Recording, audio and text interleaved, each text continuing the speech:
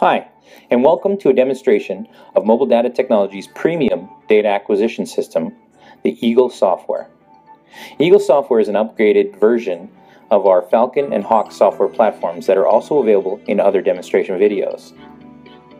This software was originally intended for recording data during coiled tubing operations on coiled tubing units, double fluid pumps, and twin nitrogen units.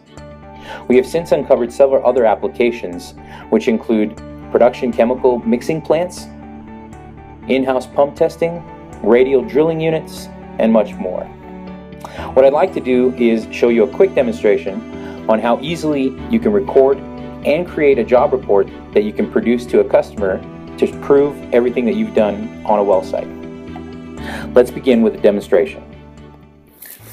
This is an overview of the Eagle software as it would be seen when you fire up the screen. First thing I'd like to show you is the graph modes. You can change graph modes easily by going over to the right here and depressing the G1 button. It then becomes a G2, which means there's two graphs, and on each graph you can see up to six pieces of data. And you can toggle through and show one, two, three, four, five, or six pieces of data on either graph. If I select that again, I will hit the G2 Plus graph mode, and it's a larger graph on top, which shows eight sensors, and a smaller one on the bottom. And if I hit it one more time, I'll get three graphs where I can see four on each. One more time brings me back to the G1, and that is our different graph modes. So what I'd like to do now is select a company to do our work for. So that's the first step. I'm gonna go select a company. You'll see there's a couple of companies here that I already have. I'm gonna select Fluid Co. and know that I can add a new one or clone or edit anything on the fly. Going back to the main monitor now that I've selected my company, I can actually go ahead and hit the start button and start the recording. Once I hit start, I'm going to want to go over here and depress this uh, button up here, which will actually turn on the data on the graph. So this is just so that it, the data doesn't get too convoluted on the graph and I can pick and choose what I'd like to plot while still maintaining visuals on each sensor reading. On the left side, you're going to see the, the axis, and uh, currently it's set to an auto scale. So what it's doing here is it's auto scaling based on the data that's coming in. What I can do is I can actually uh, customize that. Double clicking that uh, scale, I can set it to 3000 as a minimum, and then I could go up to say 8000 as a maximum, and I can set a custom scale if I'd like. So you'll see now it's 3000 on the bottom, 8000 on the top. What I can do then is um, if, if I want to go back to auto scale, I can do that. Double click that and it goes to auto scale.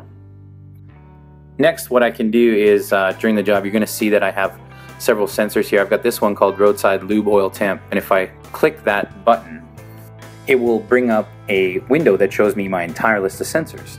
And what I can do is actually go ahead and select a different sensor reading that I'd like to show. So you'll see here I could pick a flow rate.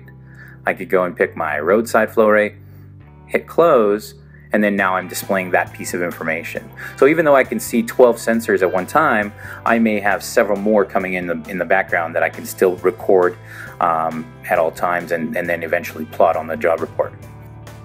If I want to, I can zoom into the data by dragging my finger across the screen and simply letting go will zoom it right into that chunk of data that I zoomed across. Going up top, I can hit reset zoom and that will just bring me back to my normal view. If I'd like to do a job report, uh, I can do so and I can track events during my recording. All I have to do is go over to the track data button up here on the top and once I select that, I'm going to get a line on the screen, a white vertical line that I could place anywhere I'd like. So I can go ahead and move it and once I'm happy with uh, where I'd like to make that mark in time, I can go over to the left where it says add to log and I can click this add to log button to bring up a window where I can type in any type of description or event that I'd like to record. So in this case, I'm just gonna type test, hit save and close. And then what's gonna happen is once I hit show log up here on the top, it's gonna show me that chunk of data. It's also gonna show me um, what I typed as well. So that's just a toggle where I can see it as an E1 for event one and then I can go over here and I can add another line if I want. So I'm gonna hit you know the track data button, put the line where I want it, add to log, and then go ahead and type in this one. I'm just gonna type test two. And then uh, we just toggle over to the number here, hit number two, test two, hit save and close, and there we go. We have another event that we marked. And there are several events that you can go ahead and mark and, and uh, just showing you here where you hit the show log button uh, several times, you can see different views on it.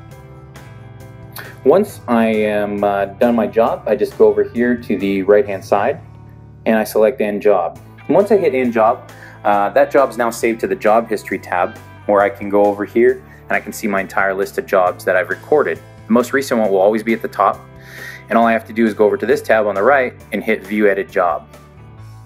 Once I load the job, you're going to see the first tab we're in is the job details tab, and this is where you can have a customized report. So you can put any labels you'd like in any of these fields and have a custom job detail report. So once you've filled all that in, you would simply go to the graph. Now you've got a blank slate where you can go ahead and select which pieces of data you'd like to show in your report. So in this case, we're going to throw a pressure in here. We'll put the roadside pressure. And then on the right side, we'll probably put a flow. We'll select from our flow tab and we'll pick the curbside flow rate. Now let's do roadside. Okay, hit close. So I've got my roadside flow rate and my roadside pressure. And then I'm going to go ahead and uh, hit create report. That's all you have to do. So this is now generating a report for us that we're going to be able to send off. Now there are other features over here on the right. You'll see you can add a custom graph if you'd like, uh, up to four of them. And that's just for extra reporting if you so choose to use that. So once this is done doing its generating, the close button will illuminate and you can hit that. And when I hit it, it takes me back to the job history page where I can go ahead and I can preview the report here. Once I preview the report, you'll see you can put your logo at the top. There's company details section, that's who you did the work for. Then your job details section. Then we'll show you the summary. This is a summary of the points of data that you wanted to show in your report. So that's on the first page. The second page here is the job log, and what this shows is those job event marks that we dropped. So every, every marker that you drop will show up in a table here, and then we'll take every one of those pieces of data and we'll add it to a bigger graph where you can um, see a list and it shows you exactly what you did. So down here it says test one, test two. So once you're happy with that, you can go ahead and you hit close. And then we go to the Save or Email tab, and this is where we can actually send the report out. So we hit that tab, and now you're gonna see here, this is my company man, and then here's a couple of areas where we can pre-populate or, or put in email addresses for people at your company. So I hit email report, and there it goes. It's emailing the job report. Now you can rig down and head home. Now, in the rare case that you don't have any um, cell access, because this is all working on a cell card, um, you can actually go to the Save or Email button and we can plug in a USB stick. So instead of emailing it, we're going to go ahead and we're going to save it to a USB. So you can also add the CSV report in that case, um, where you can save it as a second attachment. That would work for email as well. So what we do is we go ahead and we plug in a USB stick and the Save to USB light will illuminate. Once it does, you select Save to USB and your job report is now saved on your USB thumb drive.